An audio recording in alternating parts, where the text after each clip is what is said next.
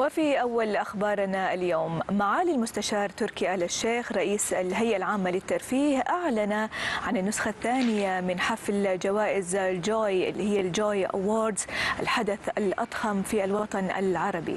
يستهدف صناع الترفيه من مختلف المجالات.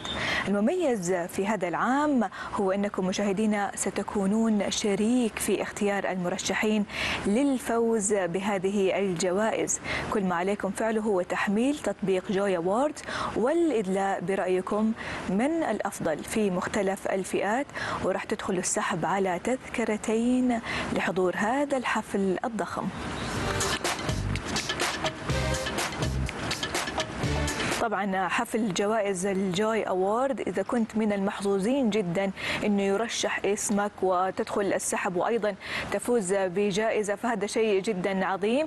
نحن اللي حنصنع هذا الاختيار نحن اللي رح نقرر من يستحق الفوز بجائزة في هذا العام في مختلف المجالات اللي تخص الترفيه سواء من ال social media أو التمثيل أو الغناء أو حتى تقديم البرامج. فحظ طبعا سعيد لكل اللي راح يشاركوا.